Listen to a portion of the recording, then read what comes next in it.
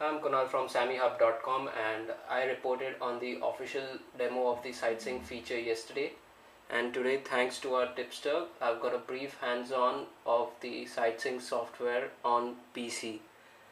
Before I begin I would like to say I tried installing the Windows application on a Dell notebook but uh, the software threw an error saying it is unsupported. I have installed the software now on a 6 month old uh, series 3 Samsung notebook and it runs Windows 7 so let's start the app.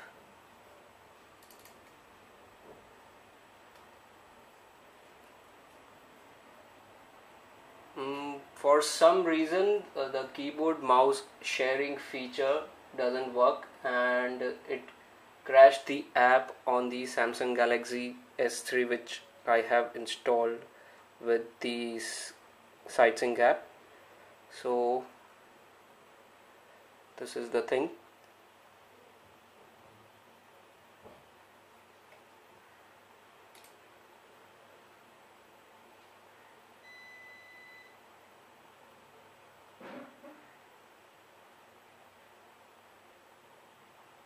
as you can see it has crashed the SideSync app.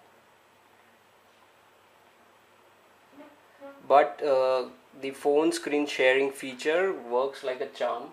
To make the screen sharing feature work you'll have to install another app on your phone which is this phone screen sharing and you just need to turn this on here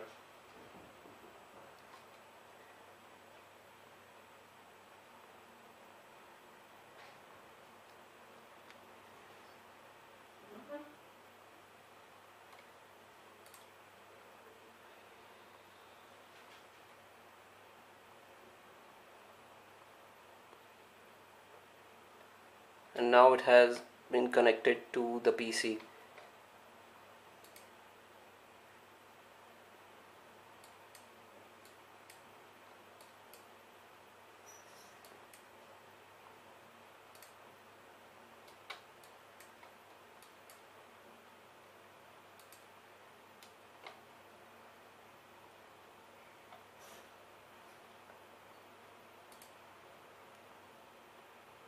you can kill all the running apps directly from here or you can just click on the top here.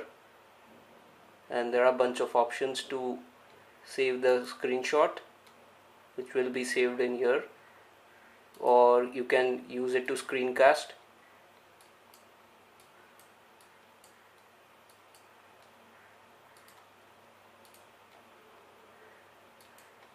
Use a pen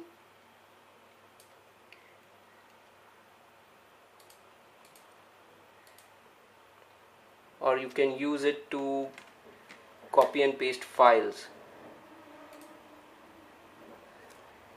So I will just copy this here